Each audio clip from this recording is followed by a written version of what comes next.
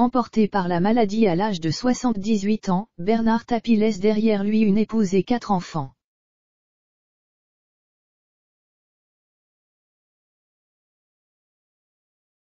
Si sa fortune est aujourd'hui difficile à estimer, on sait en revanche que l'ancien patron de l'Olympique de Marseille se disait incapable de déshériter ses enfants.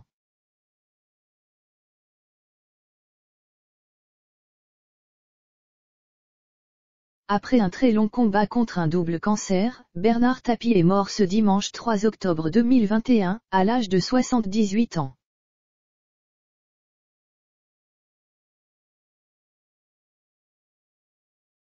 En décembre 2020, l'homme d'affaires avait signé une apparition plutôt remarquée dans le fameux portrait de la semaine de l'émission 7 à 8 sur TF1.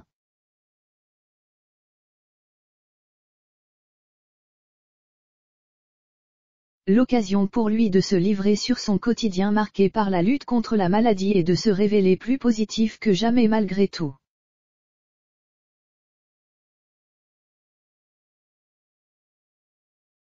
De quoi bluffer les téléspectateurs mais aussi la journaliste Audrey Crespo-Mara qui avait commenté son passage, il est bluffant.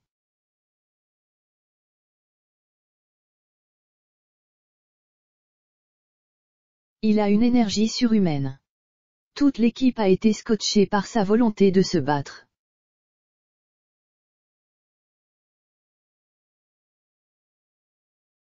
C'est une véritable leçon de vie avait-elle déclaré point au cours de sa carrière, Bernard Tapie qui est l'un des hommes d'affaires les plus connus de France, a réussi à cumuler une immense fortune assez difficile à estimer.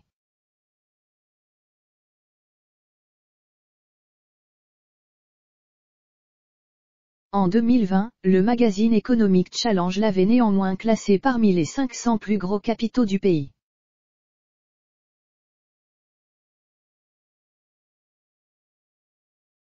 Alors que certains le disaient ruiné, l'ancien patron de l'OM serait en réalité bien à l'abri du besoin.